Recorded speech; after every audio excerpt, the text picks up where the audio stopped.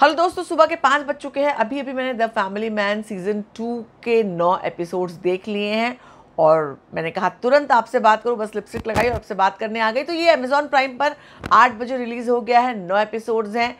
पैंतीस, तैंतीस से लेकर के पचास मिनट तक के ड्यूरेशन के नौ एपिसोड्स हैं और बिंज वॉचिंग आराम से की जा सकती है। मैंने भी की है। श्रीकांत तिवारी, जो the family man perfect the family man की जद्दो, बनने की जद्दोजहद करते हुए सीज़न वन में नज़र आते हैं। सीज़न टू में काफ़ी हद तक वो उसे अचीव करते हुए नज़र आते हैं फ़र्स्ट एपिसोड में, जहाँ पर वो नई गाड़ी खरीद लेते हैं, नए फ्लैट के लिए अप्लाई कर देते हैं। यही नहीं, वो अपनी नौकरी बदल करके एनआईए की नौकरी छोड़कर आईटी की नौकरी करते हैं, जहाँ वो अपने परिवार, बच्चों को टाइम दे पाएँ शुचि की उम्मीदों पर खरा उतर पाएँ, बच्चों को स्कूल छोड़ पाएँ, खाना बना बना पाएँ ब्ला ब्ला ब्ला सब कर पाएँ। लेकिन ये सब करते हुए आईटी की नौकरी उन्हें परेशान करती है क्योंकि उनको लगता है कि यहाँ पर वो डैश डैश डैश यापा कर रहे हैं। क्योंकि उनको उनको एक ही काम आता है इंटेलिजेंस का। अभी भी वो केस सॉल्व करने में दिलचस्पी रखते हैं, अभी भी वहाँ के अपडेट लेते हैं उनका दिल वहीं पर लगा हुआ है।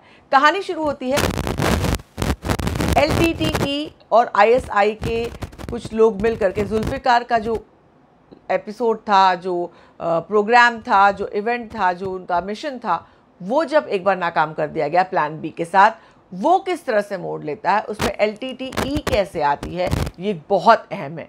आ, देश के सर प्रधानमंत्री के एसेसिनेशन के लिए उन पर हमला करने की तैयारी की जाती है क्योंकि उनसे नाराज़ हैं कुछ लोग और उन्हें सबक सिखाना चाहते हैं ऐसा प्रधानमंत्री खुद कहती हैं। और एक बड़ा मिशन प्लान किया जाता है। श्रीकांत तिवारी उस मिशन को निरस्त करने के लिए निकल पड़ता है। उस मिशन की करता धरता इस बार सामंथा है। ओ माय गॉड मेन जो एंटागनिस्ट है, जो मेन विलन है, वो सामंथा है। ज़बरदस्त ज़बरदस्त। मैंने मूसा को मिस किया डेफिनेटली मूसा को बहुत मिस किया, मगर राज़ी, यानी सामंथा ने ज़बरदस्त मतलब उनको बहुत लंबा कैरेक्टर नहीं दिया कि शुरू के एपिसोड में दिखती हैं। फिर काफ़ी सारे कैरेक्टर्स आ जाते हैं तो थोड़ी सी गुम हो जाते हैं, लेकिन जब भी वो दिखती हैं, वो स्टैंड आउट करती हैं, उनके expression oh my God what a character I would really मुझे आ, ये देखना था कि अभी अगले सीज़न में वो दिखाई पड़े। हालाँकि ये सस्पेंस है मैं नहीं बताऊँगी। बहुत गज़ब का उन्होंने मनोज वाजपेयी को ज़बरदस्त एक चुनौती दी है। हालाँकि मैंने मूसा को ज़रूर कम किया मूसा को ज़रूर उसकी कमी महसूस की। फ़िल्म में सलमान नाम के किरदार की भी एंट्री बहुत इंटरेस्टिंग है। बात करें शुचि की शुचि अपने शुचि की शादी को लेकर के मामला पहुँच गया है काउंसलर के पास। और वहाँ पर जाकर के शुचि अपने गिल्ट को व्यक्त करना चाहती है कि वो अरविंद के हाथ क्लोज हो गई थी, वो बताना चाहती है उसके आगे क्या होता है, क्या वो माफ़ी मांगती है, क्या वो कहती है, क्या उसका अरविंद से रिश्ता बनता है, क्या वो साथ रहती है। मनोज वाजपेयी की आपको सीरीज़ में देखना होगा। लेकिन ये जो आतंकवादी चीज़ें हैं, ये जो मिशन है, जो काम है, वो मनोज तिवारी के घर पर पर्सनल अटैक के रूप में पहुँचता है। उनके परिवार पर इसकी आँच आती है, इतनी बुरी आँच आती है लेकिन उसके बाद ये साबित होता है कि मनोज मनोज वाजपेयी के मैंने मनोज तिवारी तो नहीं कह दिया पहले।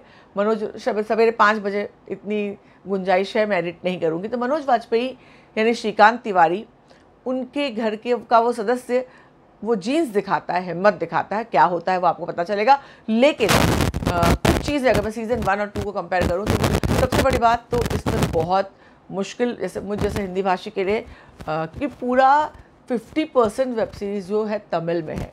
क्योंकि बहुत अच्छा वो एक यूएसपी है कि तमिल एकदम रियल लगता है, आपको रियल लोकेशन पे शूट किया गया लगता है रियल लोगों के साथ।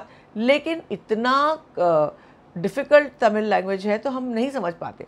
और आपको सबसे बहुत ध्यान देना पड़ता है। सब अब Hindi Indian series web series हमारे, हमें आदत नहीं है सब के साथ देखने के लिए।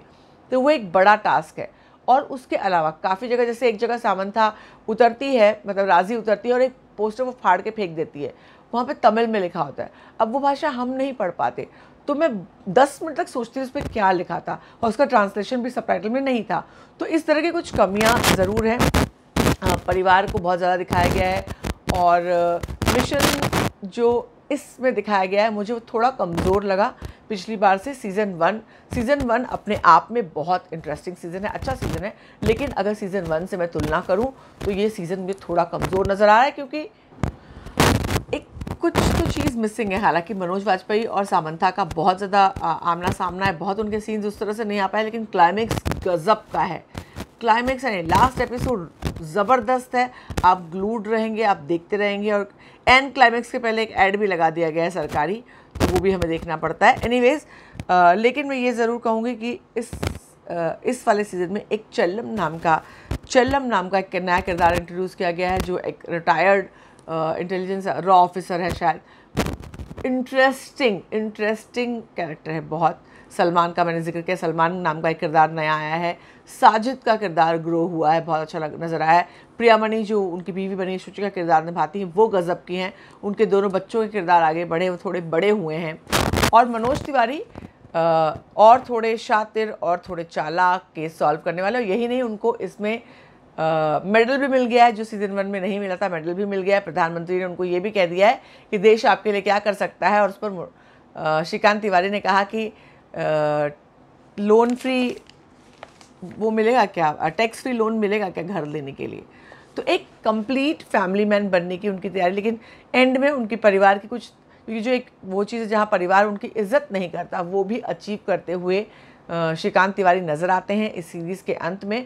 और आपके चेहरे पे मुस्कुराहट आती है। हालाँकि मैं बहुत उलझन रही, मैं, आप डिस्ट्रैक्ट हो जाते हैं डिस्कनेक्ट हो जाते हैं। जब लगातार तमिल में दस दस मिनट तक कॉन्वर्जेसन चलते हैं तो आपको नहीं समझ में आता। और सब पढ़ के भी बहुत फास्ट फास्ट कॉन्वर्जेसन है। सब भी फास्ट चले जाते हैं।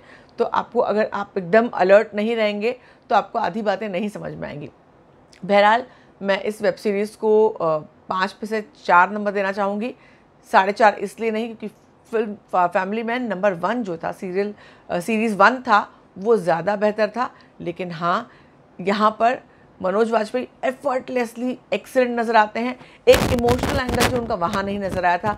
यहाँ पर दो तीन बार ऐसी परिस्थितियाँ आती जहाँ वो बेहद इमोशनल नज़र आते हैं। तो ये वेब सीरीज़ आप ज़रूर ज़रूर ज़रूर देखिए। हाईली रिकमेंडेड है। और कमेंट सेक्शन में ज़रूर बताइए, अब तक देखी है या नहीं देखी? और रिव्यू आपको कैसा लगा? बाय